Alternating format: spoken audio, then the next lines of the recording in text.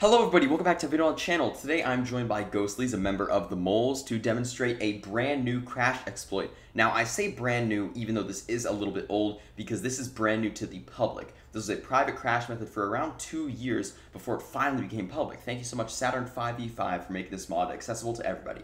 But without further ado, let's get right into it. We are on, of course, loverfella.com and all you need to do is press escape once you've loaded up the mod with Fabric, not Forge, 1.18.2. It does not require any sort of Fabric API. Just put the mod into the mods folder, load up Fabric mod loader for 1.18.2, and you're set to go.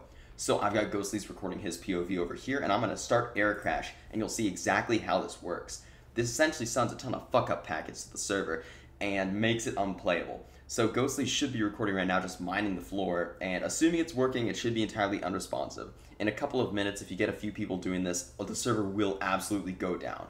However, Loverfella is kind of a powerful server, so I'm not sure exactly how long it takes, but it definitely does go down eventually. This hack worked on Herobrine.org. I think it still does work on Herobrine.org. It works on a ton of other servers, so go nuts, have fun. But that's going to be all for me. It's a super, super short video today because it's a super, super easy tutorial. Hopefully you did enjoy today's video. Be sure to leave a like and subscribe. Have a great rest of your day, and goodbye.